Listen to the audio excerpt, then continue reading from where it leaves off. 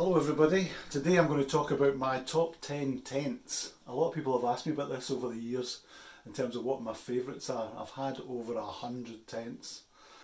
So I've randomly gone through my list, looked at all the ones I've had and kind of narrowed it down to top 10. So let's go back in time. Number one would be the North Face VE25, a classic expedition and base camp tent. I've had two of these uh, going back years now. Um, I don't have them anymore, but at the time I loved it. Great base tent for the family, great for any conditions, winter, summer, whatever. A wee bit of a faff to put up because they're quite cumbersome and quite time consuming, but once they're up, wow, strong. You can trust them for anything. Uh, they're ideal for any conditions. Nice and roomy, comfortable inside, lots of pockets, lots of headroom, undercover cooking. You really feel like you're in your own little cave and well away from all the bad weather. So that's definitely up there in one of my top 10. So number two in my list would be the Terra Nova Quasar, another blast from the past super strong mountain tent. Usually came in a two person format. Uh, it was a tent I always lusted after when I was a lot younger and eventually managed to get. Uh, I think I've actually had two or three of them over the years. But it's a bit of a classic, often copied as well by other companies like Force 10 and Vango. Um, but yeah, brilliant. The four pole design with the five crossover points makes for a very strong structure two vestibules at either end made it very easy to use. You could cook and store, or you could exit one end without bothering your sleeping partner. But very strong, brilliant all-season tent. Obviously used for expeditions, but uh, favourite amongst UK climbers and walkers as well. Um, the only downside I would say about it was that um, it's inner pitch first, which is still that wee bit of a faff. So in some ways it would have been better if it had uh, an external pole structure. But other than that, yeah, bit of a classic and uh, been around for years and deservedly so. Right, for the third choice, I'm going to go to the other end of the scale, ultralight backpacking. And what kind of tent do you go for that? There's a lot of super sexy, super light tents out there nowadays made in Dyneema. Um, but you don't necessarily need to spend that money. I think there are far cheaper alternatives. And the one that sticks out for me is the Six Moon Designs Lunar Solo, which comes in I think about 700, 750 grams. Uses a single walking pole, so you have to allow for the fact that if you use walking poles, it's the tent for you. But obviously, if you don't, you need to look at alternatives. But it's very, well, I say very, relatively inexpensive. So it's a great bargain tent. It's very roomy, really easy to put up. It stays dry when you pitch it being single skin you have to allow for some condensation and manage that. But because of its perimeter netting uh, venting the moisture tends to run off and out the tent without dripping into the inner which is a problem even with some very high-end DCF tents that I've had.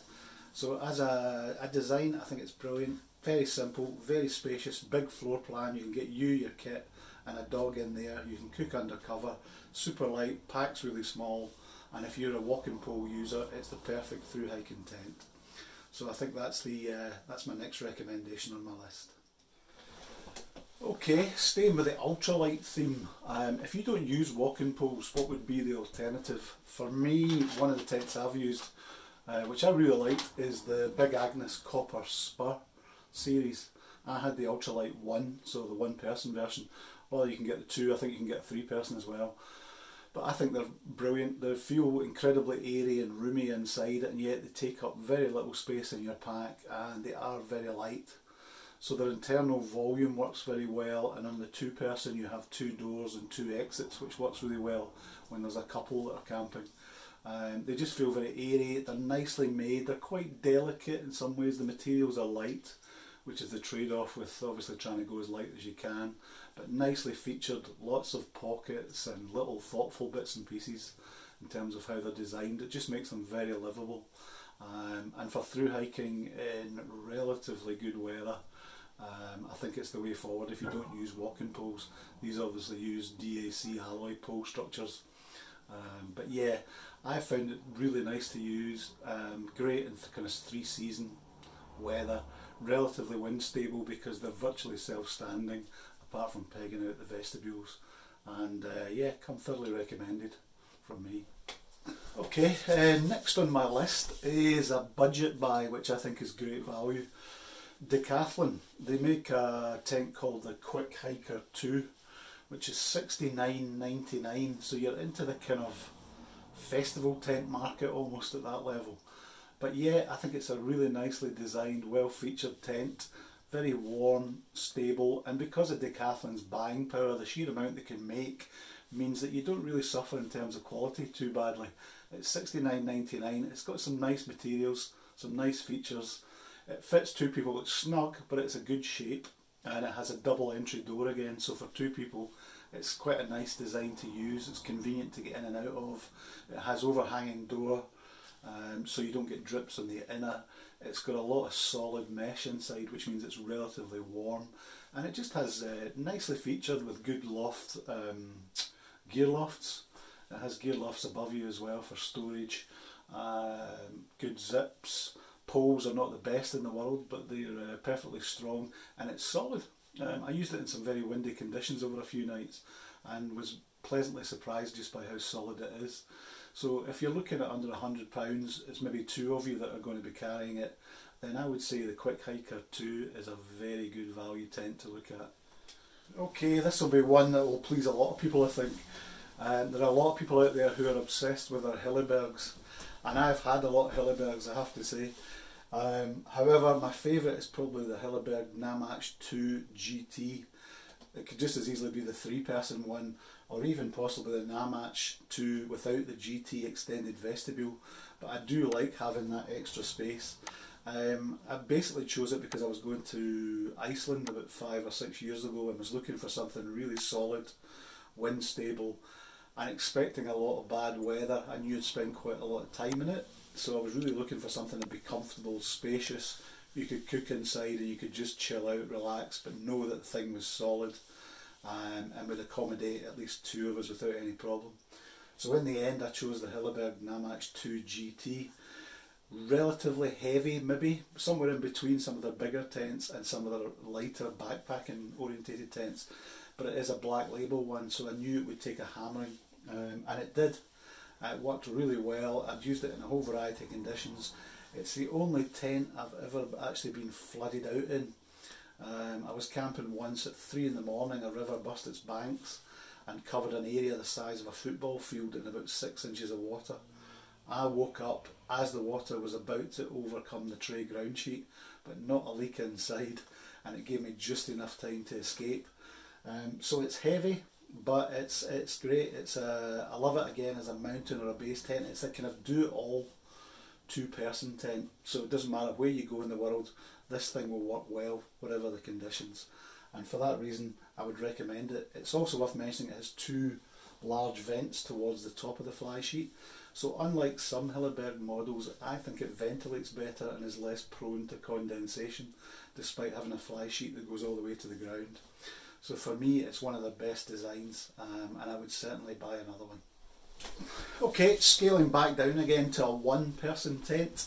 Uh, I was looking for something I could use all year round. I'm a bit of a weight obsessive, so I do like a strong tent, but I don't like carrying anything over 2k, 2 kilograms.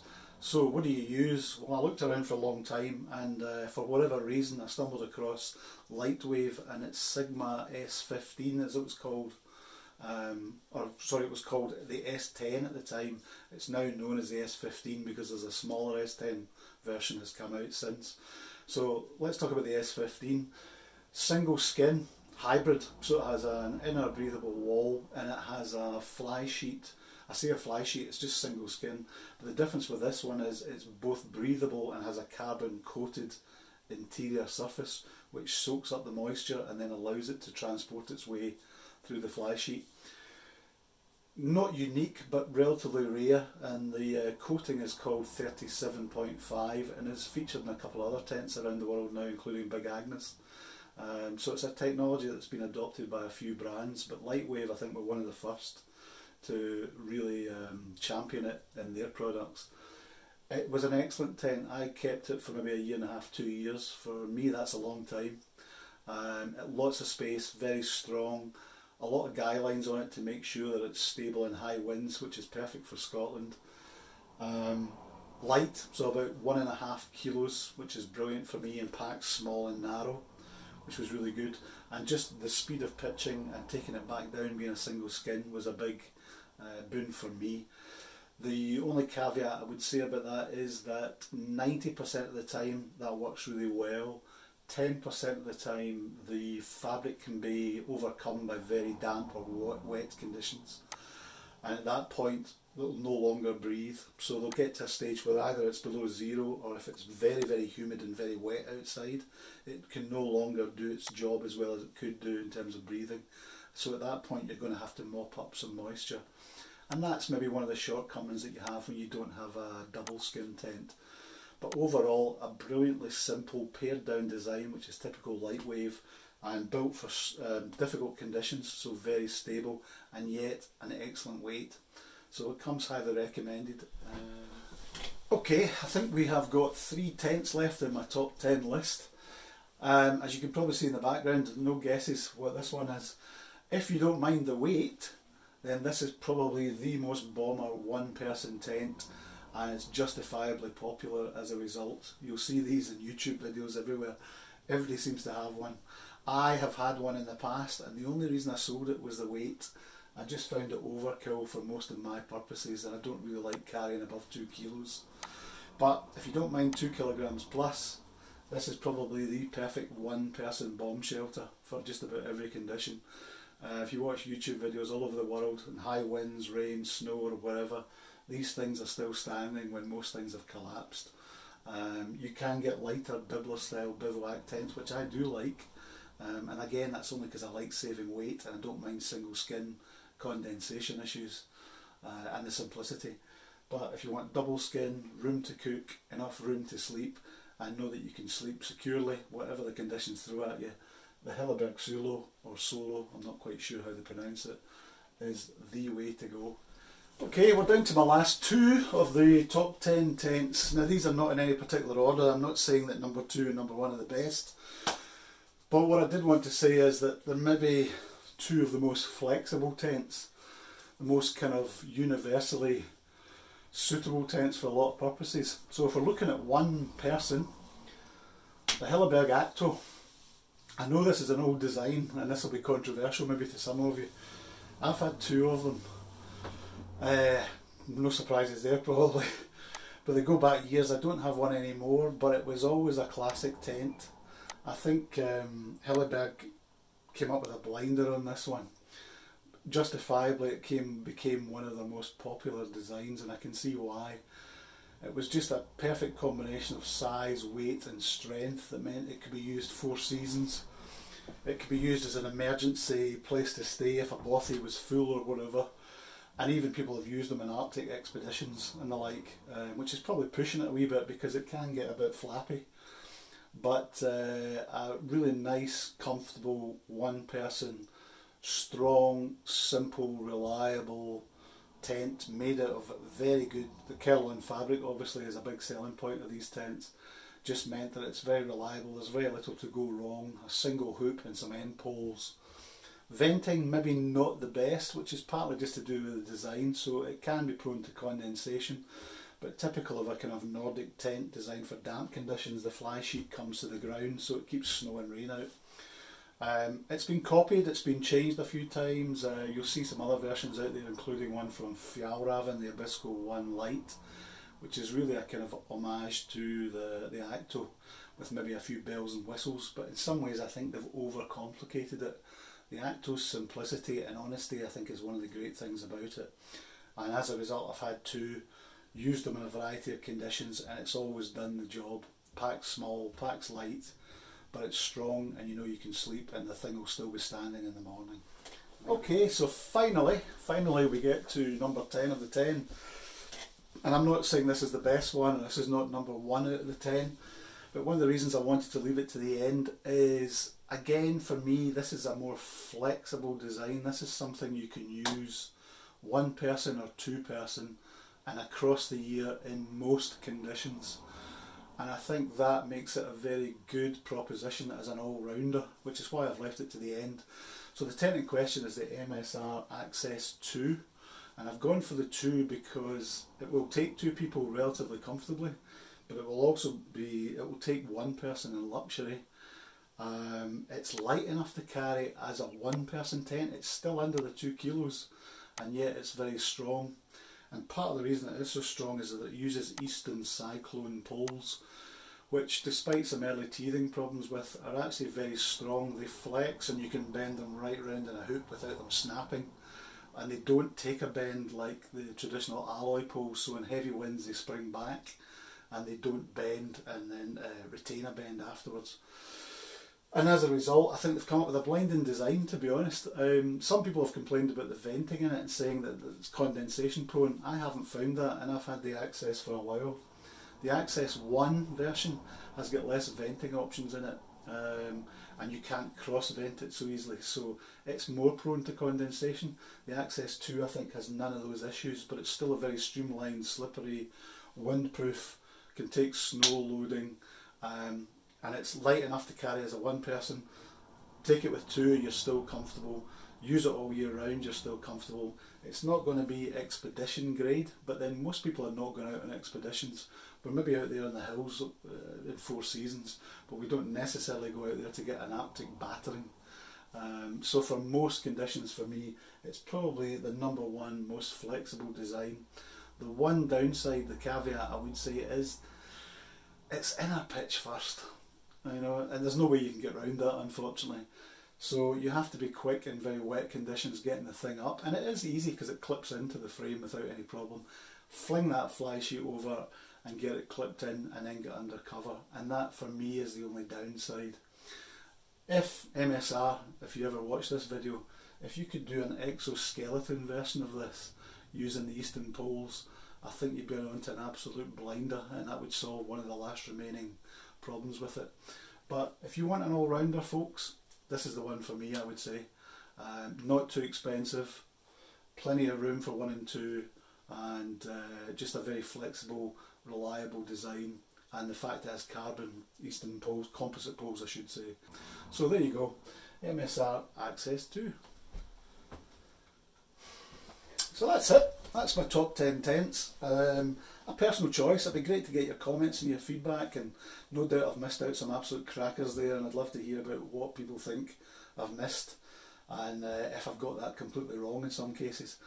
As I say, it's a subjective list, um, and based mostly on my experience.